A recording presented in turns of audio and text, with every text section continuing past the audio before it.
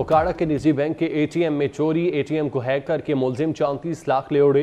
नामालूम मुलजिमान के खिलाफ मुकदमा दर्ज कर लिया गया। तफसीलात शहजाद खान से जानते हैं जी शहजाद।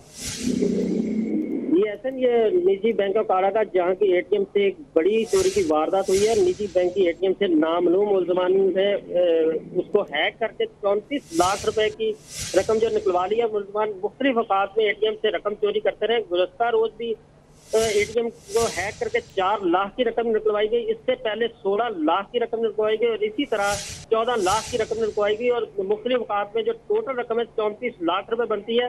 बैंक मुलाजमीन के पहुँचने से कबल ही मुलजमान रकम निकलवा कर फरार हो गए और इस तरह पुलिस ने मौका पर पहुंचकर पहुंचकर कार्रवाई का आगाज़ कर दिया। थाना ए डिवीज़न के बैंक मैनेजर की मदयत थाना ए डिवीज़न में बैंक मैनेजर की वजह से मुकदमा दर्ज कर लिया गया और मुलजमान की गिरफ्तारी के लिए डीएसपी सिटी का कहना है कि छापे मारे जा रहे हैं। जल्द ही हम मुलजमान को गिरफ़्तार कर लेंगे। जी बहुत शुक्रिया, आप तफसीत से आगाह कर रहे थे।